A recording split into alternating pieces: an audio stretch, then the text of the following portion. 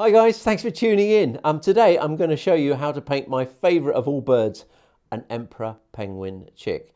Now I painted a few of these over the years, incredibly popular. Um, I'm going to paint it on a bit of board and um, very, very simple actually. Um, I'll show you how to do it. It should take about, I don't know, half an hour, something like that. So look, stay tuned, I'll get going and hopefully we'll have a emperor penguin chick at the end of it.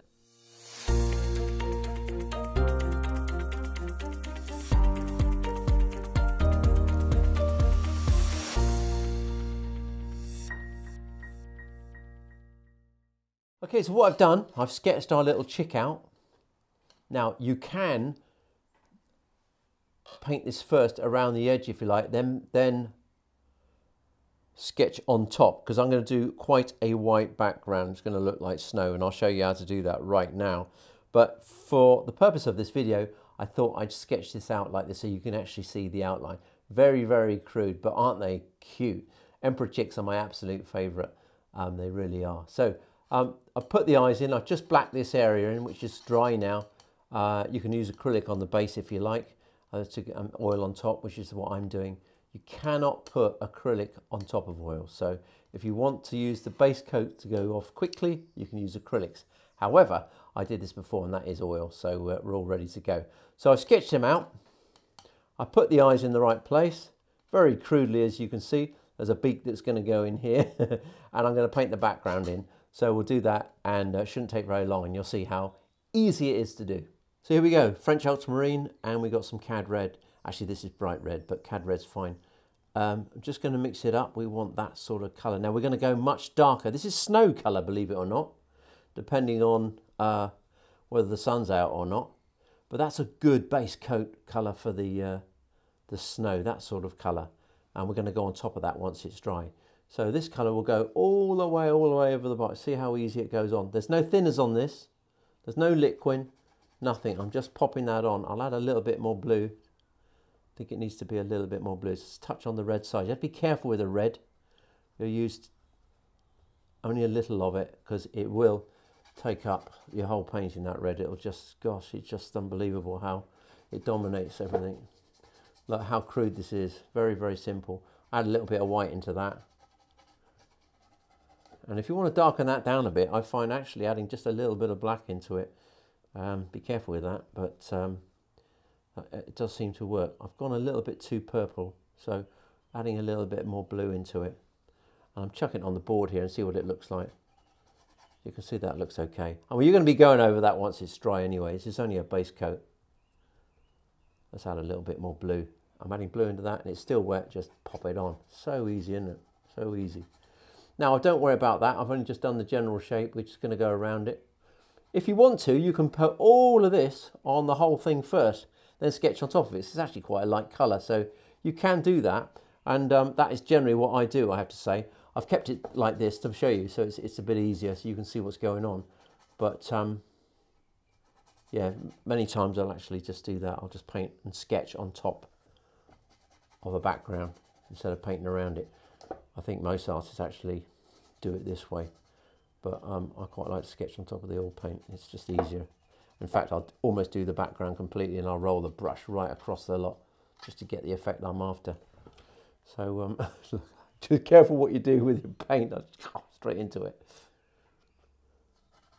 So we're going to do that all the way down.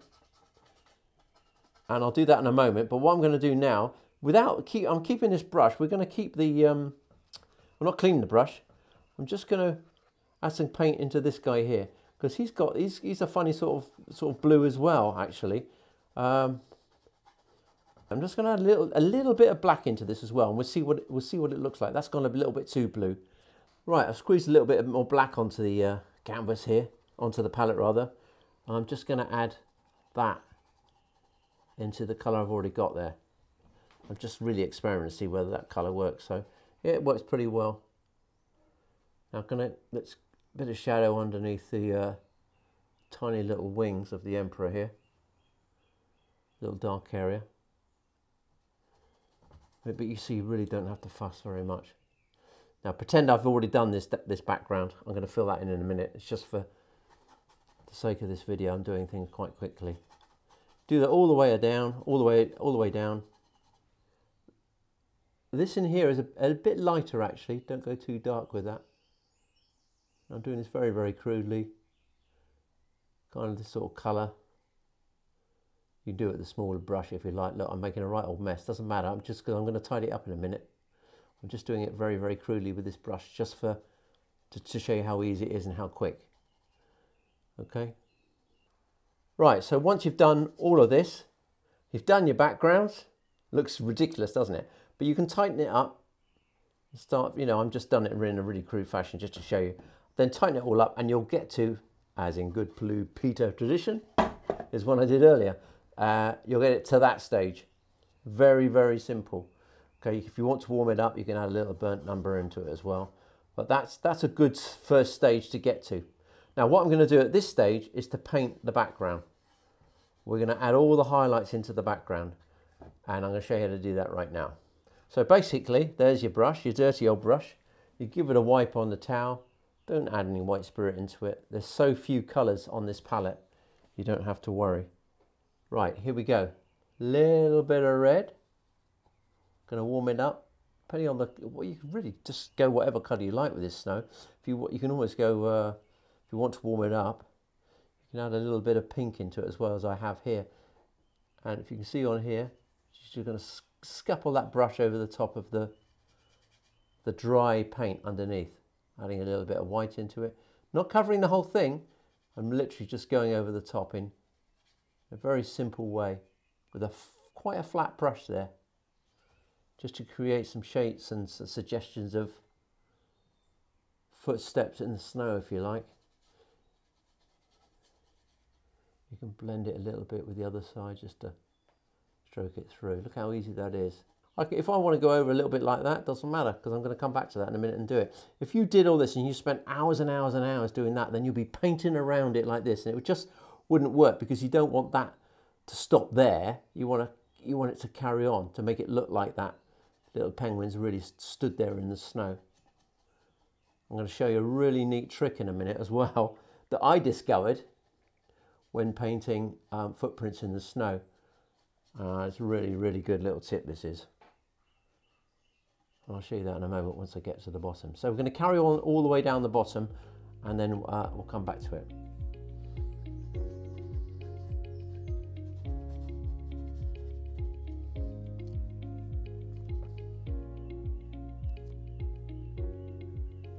Right, well look, okay that looks ridiculous, I know it does, but uh, that's the thing with oil painting, you have to build it up to get somewhere.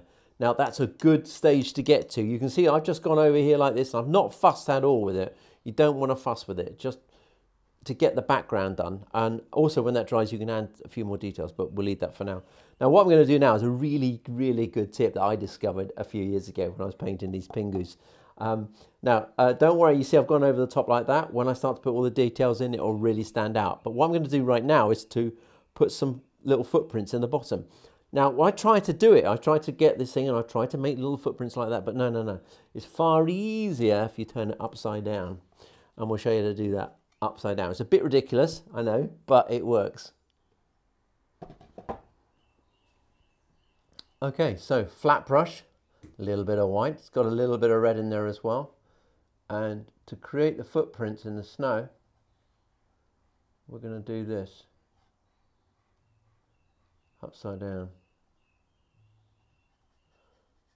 And you still go across it like that. But these edges, bring them out like that. Once you turn upside down, you'll see what I mean. It will start to make sense. Doesn't look like anything at the moment, but it will once we turn it the other way out.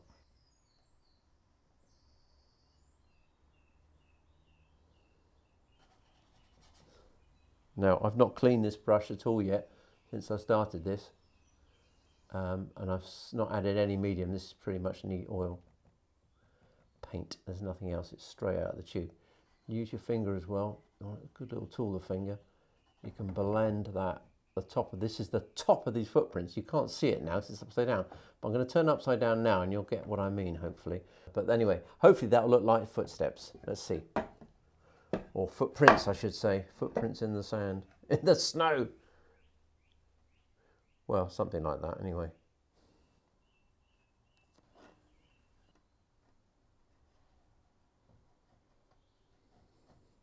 Right, anyway, that's, uh, that'll do for now because we can titivate as much as we like down the foreground. Um, let's get on with this guy. Now I'm going to paint in the, uh, the actual Pingu itself. I keep saying Pingu, I mean penguin. Uh, okay, so we just add some, some black into this. Not much uh, paint on the brush, just not too much, otherwise you can start to get into a muddy mess. And because the background here is still wet, it creates a nice sort of soft edge, which is all rather nice. Uh, you don't really want hard edges. It's quite nice to get some soft edges. I will add a bit bits of uh, a warm white, probably a little white and red, into the top there and make it look like it's got a bit of snow on his head probably. But um, it's just to take off that hard edge. Now don't forget you can move your board or your canvas around to make it easier for you. Sort of comes around here like that. Now I'm working from memory here, so I painted a few of these guys. So uh, it's that it's really is that easy with the penguins. They're not uh, they're not particularly hard to do, but they are very satisfying, a lot of fun, and um, very very appealing. Don't worry, I've gone over that, but don't worry about that. I'll use a this is still quite a big brush I'm using at the moment. I'm going to use a smaller brush in a moment. So when I start to get into detail, and you start to reduce the size of your brushes. But uh, that's we're not there yet. Got to wipe my brush, got a bit too much paint on it. Okay.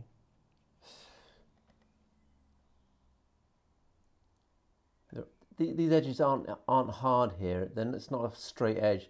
But once because we're going wet in wet here, this is going to be wet paint here, and that is going to be wet paint. And then you can blend them a little bit, but not with the brush this size. We're going to reduce the size of the brush. Now there's a dark edge round the bottom of the penguin's head here, the baby penguin, the chick. Just round there, it's quite dark.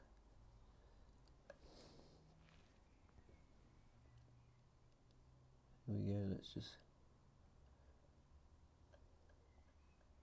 there we go. still not really changed brushes here, I'm still using this flat edge brush, I'm using, just turning it around.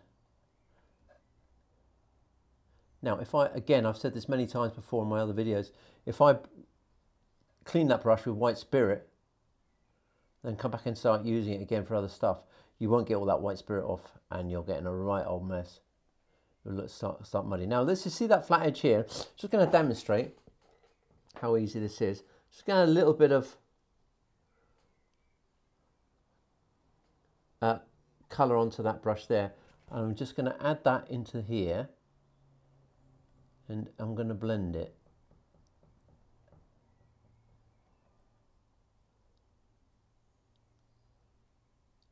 You get rid of that hard edge, just like that. And then we're going to carry on doing all of this in a moment. Okay, it's time to swap brushes and we use a smaller brush and I'll do these eyes and the beak and all the white around here.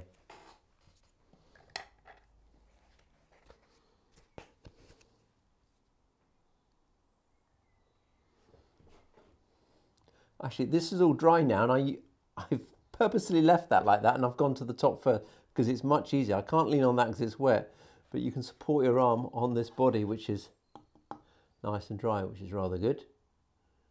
Just putting uh, not, not fussing too much just going to get the shape of the eye and put that in. We'll pop the very very last thing I'll do on this painting is to put a little bit of light in that eye which will really bring it together. But you don't want to get bogged down with that stuff to start with. Do that later. And it'll probably be the very last thing I do on this painting. They've got this odd little. This is where the edge of the mouth is on the uh, on these little emperor penguins. See, I'm not. If I put that nose in now, or beaker, I should say, then I just have to start fussing around it. There's no need to do that. I just put it in later on. I know it's going to be there. It looks odd to start with, but it doesn't really matter, does it? You just got to see the big picture and do it step by step. Right, now I'm going to add some white but it's, it's quite a dirty brush, which is fine. Let's put it on there. See, it's not quite white enough. Let's make, make it a little bit whiter. There we go. That's probably too white, but um, it will mix with this other color around here, or this is black actually. If you want to warm this up, add a little bit of brown into it, burnt umber. That'll warm it up. But this is ivory black, which is slightly browner, so they say, but I'm not sure my eyes are good enough to tell that. If you use flake black, that's got a blue tint to it. So you might you might um, prefer that, but I don't know. Can hardly see the difference. I'm sure the purists do, and the portrait painters would not like to hear me saying that, but when you're painting a penguin, I really don't think it matters too much. Right, so we're going to blend that edge in a minute. Again, you see I'm not really fussing very much, I'm just getting the, uh, the paint on it. Again, you see, if you put that eye in and you fuss around with it and you start putting the pupil in, the light and everything else, and you realise you put it in the wrong place, and that's hard to tell until the painting is sort of nearing its ending where everything is starting, it goes from two dimensions to three, then you can start to see what's, what's wrong with it. And you realise then that the eye's in the wrong place. Well, you've wasted, you know, uh, however long it's taken you to do the eye. So no point in doing it yet. No point in fussing at all because it's quite likely you might have to move him. Now that edge there I want to blend, so I'm going to get my other brush, nice soft brush. Just, just blend that in a little bit because that paint underneath that black is still wet. There we go. Get rid of that hard edge. So I'm going to go ahead now and just fill all that white in. I shan't show you me doing it now because it's very, very boring for you. I'm going to do all of that, get that finished, then I'll pop the beak in and um, like I said, I won't do the eyes yet. I'll do that in a minute.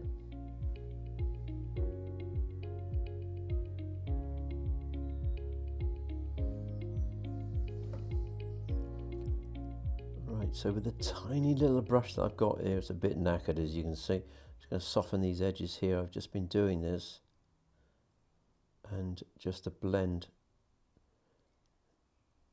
the lighter look ridiculous. Same on this one as well. You want just want to blend the edges of the eye to give it a nice soft edge. Take your time with this because uh, it is quite important. And also they've got this funny little line here, these emperor chicks under here as well. They've got like bags under their eyes that have been up all night.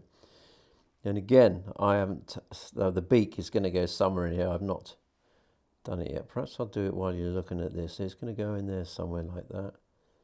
And it kind of comes around like that. And this bit here is where the edge of think the edge of the mouth is something like that, but I'm not going to worry too much about that. I just want to, I'll tell you what, I'll pop that beak in, in in a very crude way so you can see.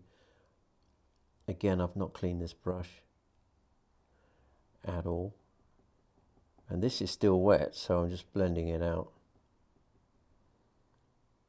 And if you want, I'll just add a little bit of uh, white onto this brush and I'll pop in a little highlight there. You can see this brush is really getting a bit tired. Just down there's a bit of a highlight. Now, when this dries, you can actually add more white into it and maybe there's a little bit of liquid and just fluff it up a little bit. It's looking a bit dark, but I need to do that when it's dry and when this is all dry, we'll um, post a a photograph of the finished painting up here so you can have a look. But what I'll do is probably go back in and I'll just dab in some white here just to give it a few more highlights. But there we are, that's, that's taking shape nicely now. I'm going to put one more dab of white on the beak, just tiny little bit there. Now, if you want, you can put some, uh, we haven't done the body yet. We've only just done the head and we haven't done any snow around here. If you really want to, you can add a little bit of light into the eye and see what it looks like. Now you shouldn't really add flashlight into this eye because you really want a blue horizon in there because that's what they're looking at, or at least snow. But I'm going to put a little bit of, dab a little bit of white in there just so it kind of brings it all alive. There we go. Uh, quite crude, but you can see that that immediately brings it to life. Now what we should do as well is add a little bit of blue into it and drag that across. And that will be your horizon right there. And it will give the eye some shape. Now we're taking the white out of there. I'm doing this quite crudely and quite quick just to show you. But again, I'll put that dab of white back in there, that little bit of flash in there, that um, dab of light, because it does add something. Very, very tiny amount, not too much. Just enough to make it look real. Okay, so there we go. Now we're going to add snow to the top of that in a minute, but I'm going to get on with the body. Okay, so I think it's time to do um, the body. Um, now I'll use a different brush for that. Um, I'm going to just mix up the same, a similar sort of colour that we've got here, slightly lighter, sometimes a little bit darker, and we're going to sort of splodge away. Now, obviously, penguins got feathers, but you don't see the individual feathers. We've got to create an impression of, of this ball of fluff, if you like, and um, you can experiment with this, because if you don't like it, just wipe it off. This is all dry now, so um, I'm going to use a similar colour to we've got here, slightly darker, and um, we'll see how we go. I'm just going to add it in. I'll do the dark areas first probably and a little bit under here and um, we'll, like I say, we'll splodge away and create the illusion of feathers and like this furry sort of mass.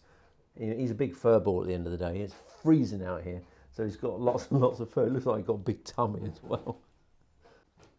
So here we go. Just um, tap in with the brush here. Tap, tap, tap away.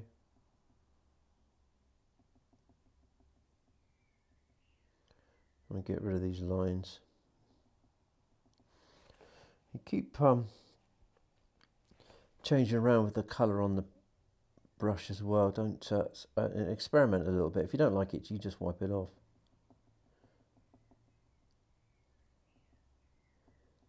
I'm not painting. Just because it's a paintbrush, you don't have to paint with it.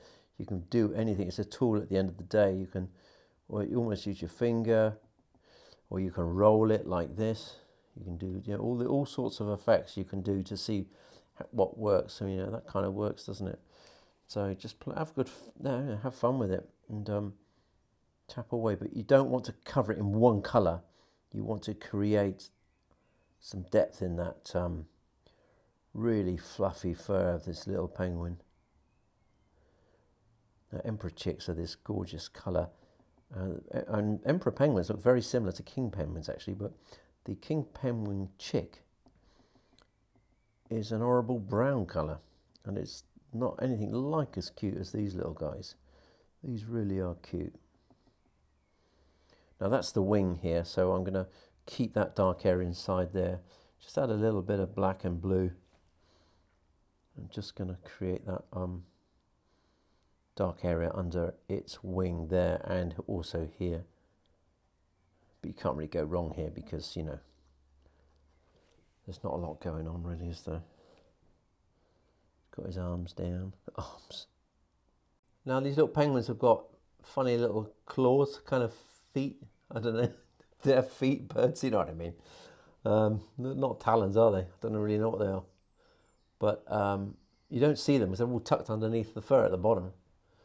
Well, I did a little painting course and we did paint some um, pingus, as I like to call them. And my very good friend was there, and he did a perfect penguin chick. It was beautiful. Looked really good, actually. Looked better than this. Don't tell him I said that. But to finish it off, he thought he'd paint the feet in with the legs and the knees sticking out the bottom. Funniest thing I've ever seen. Honestly, I was crying with laughter. Brilliant. You see me just rolling the brush here. I'm not um, painting in little bits of feathers and all that stuff. I'm just creating the sort of uh, mass of fluff. And of course I'm doing this all in one go. You'll have the luxury playing with it for a few days until you're happy with it. You know, you can go and once this is dry, you can go in with a little bit more light and go into it to create some highlights and little bits of snow. Well, we might do that in a minute. I'll just get to the bottom here. I've hardly any paint on this brush, but you see, but I quite like that. It's darker down the bottom than it is, than it is on the top. I've noticed. Generally, they're quite, it's quite light on a penguin around here. Careful not to uh, cover it completely. It's nice to leave these little gaps everywhere because it does create that depth in the fur, or, or the feathers, I should say. I'm going to turn this on its side to do that in a minute. And the same on this guy as well. Bit too light that. But it doesn't matter, we can just go straight back into it, darken up the uh, brush, add a little bit of blue, a little bit of black, bit of red. Just have fun with it. Keep rolling it around till you you get what you think looks good. Don't get carried away, by the way. You know, keep stop and look at it and think, oh, does that look right? Does no, that's not quite right. Let's just change that.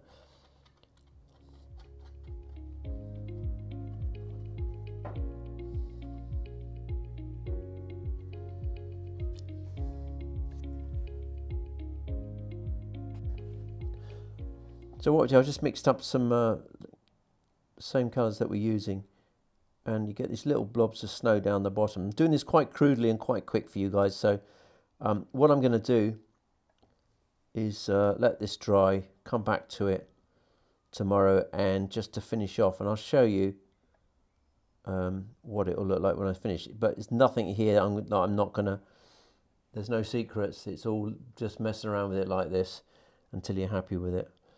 And uh, I'll post a finished picture up so you can see what it looks like. But this is basically how I paint a baby penguin. Now just bring up the bottom here. This is all in shadow. Um, it's quite dark and sort of, dirty sort of snow at the bottom here. So um, add a little bit of bit more colour, a bit more blue into it. Little bit of shadow there and and these bottom bits of snow are also in shadow. This is where his uh, funny little feet are. His funny little happy feet. And we can keep plodding here to make it look like snow stuck to the bottom of his feathers. And then add a few highlights, just add a little bit of white into it.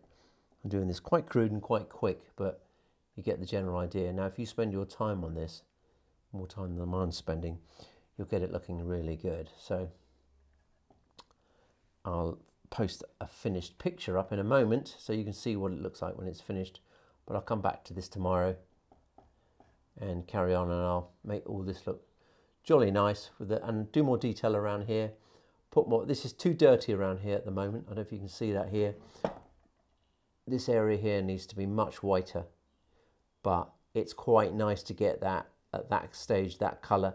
Then when you go in with the highlights, you get more depth again. So I'll add more white into that.